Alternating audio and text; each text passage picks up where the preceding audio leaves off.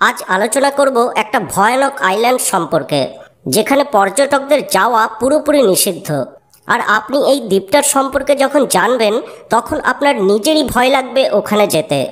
কিন্তু এই আইল্যান্ড বাস্তবে এত সুন্দর, ওখানে যাওয়ার লোভ সামলাতে পারবেন না। এই আইল্যান্ডকে ভয়ঙ্কর বলা হয় কেন? কারণ ওখানে মানুষ বসবাস করে না, এটা সাপেদের রাজ্য। এই আইল্যান্ড ব্রাজিলে অবস্থিত। ব্রাজিলের সাউপাউলো বিচ থেকে প্রায় তেত্রিশ কিলোমিটার দূরে অবস্থিত। এই আইল্যান্ডটি স্নেক আইল্যান্ড নামে বিখ্যাত।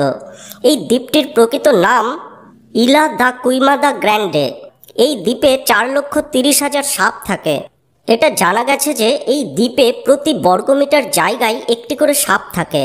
তাই এই আইল্যান্ডের বিস্তার চার লক্ষ তিরিশ হাজার বর্গমিটার।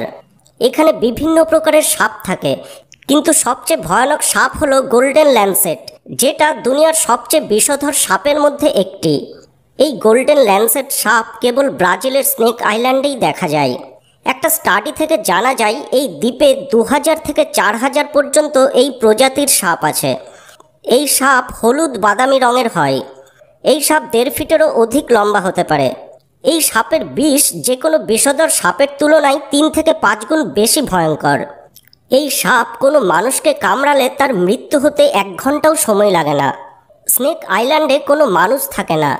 কিন্তু উনিশশো কুড়ি খ্রিস্টাব্দে এখানকার লাইট হাউসের রক্ষণাবেক্ষণের জন্য লাইট হাউসের ওপরে একটা ঘর নিয়ে থাকতো একটা পরিবার। এই লাইট হাউসটা তৈরি হয়েছে সংকেত দেখানোর জন্য, যাতে কোনো জাহাজ ওই সাপের দ্বীপের কাছাকাছি না চলে আসে। কিন্তু সাপ জানলা দিয়ে ঢুকে ওই পরিবারের সবাইকে মেরে ফেলে। এরপর এই লাইট হাউসকে স্বয়ংক্রিয় করে দেওয়া হয়। এখন মাঝে মধ্যে নেভির লোকেরা লাইট হাউস দেখাশোনা করতে যায়। বিপদের জন্য ব্রাজিল সরকার পর্যটকদের এই দ্বীপে যাওয়া নিষিদ্ধ করে দিয়েছে।